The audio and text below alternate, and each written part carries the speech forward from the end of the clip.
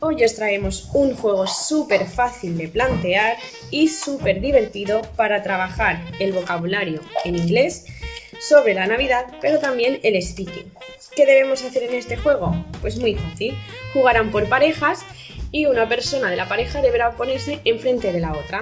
Irán rotando, pero la persona que empiece de la pareja deberá tratar de describir la palabra ganadora, en este caso Christmas Eve, a su pareja. Solo pueden utilizar palabras.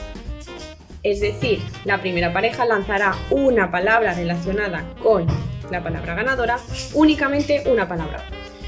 Y su pareja, su respectiva pareja, deberá responder qué cree que es la palabra.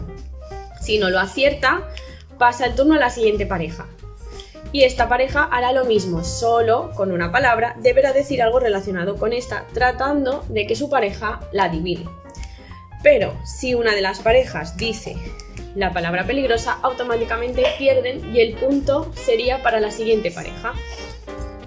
Tenemos muchas opciones, muchas palabras, así que si queréis este recurso lo podéis conseguir siguiendo los pasos de nuestro último post.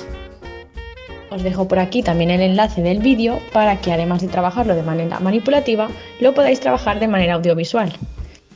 Recuerda suscribirte si te ha gustado, darle like y activar la campanita para no perderte ninguno de nuestros vídeos. También puedes encontrarnos en Instagram, Facebook y Twitter.